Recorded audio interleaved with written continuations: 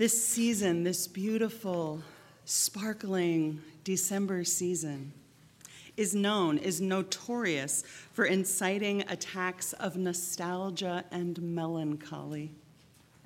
Personally, I am subject to longing for the days so beautifully captured in the Taylor Swift song, The Best Day, as she remembers her mother from the point of view of a child. It's the age of princesses and pirate ships and the seven dwarfs. Daddy's smart, and you're the prettiest lady in the whole wide world. This season brings to the surface our underlying and persistent longing for innocence, and that longing can take many forms. We long for a time when we saw the world through the eyes of a child. I have inside me an image of a little boy about three and a half years old. He's wearing a red Fair Isle sweater. He has a round face and curly hair, and he's playing with an old fashioned wooden toy that when you turn the crank, the angels dance. This is for me an indelible vision of innocence. It still resonates to see that toy the Christmas celebration with such complete openness and wonder. We long for things to be the way they used to be. For one, that might mean a return to their high school physique. For another, it might mean a relationship that she misses.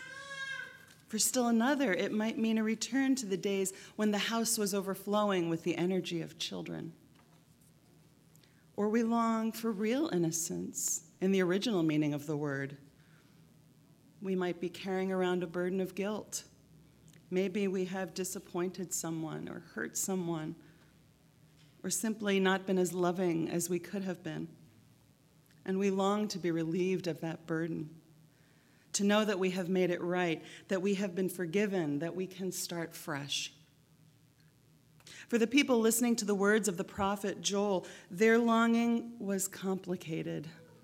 They say you can't go home again, but what they mean is you can go home, but it will be different. The view from 50 is not the same as the view from 5.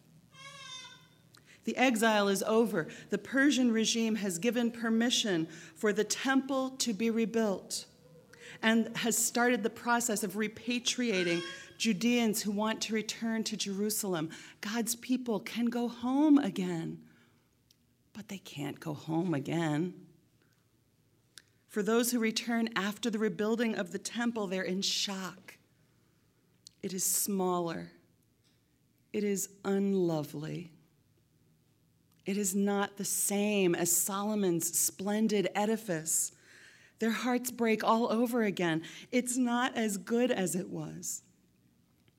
And as a wise preaching professor said, they're not as good as they were either. The people of God who are returning to Judea can only see what has happened to them as a punishment. They've cheated the Lord, they've cooked the books on their relationship with God, they've betrayed the Holy One.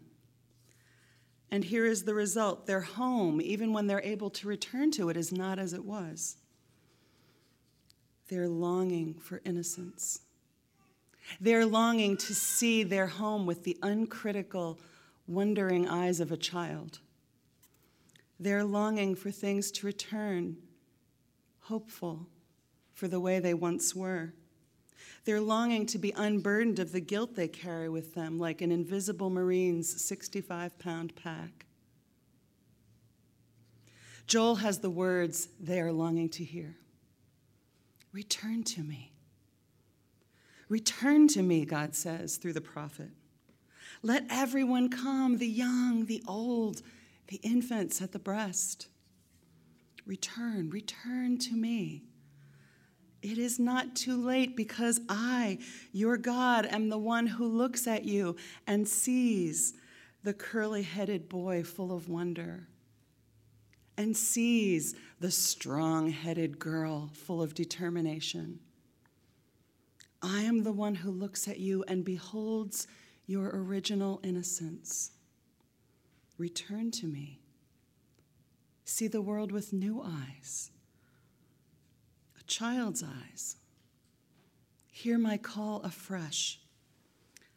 Leave your burdens behind. Return to me.